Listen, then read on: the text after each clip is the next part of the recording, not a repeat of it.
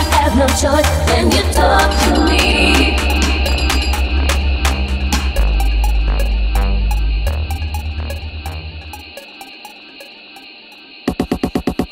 It's your honesty.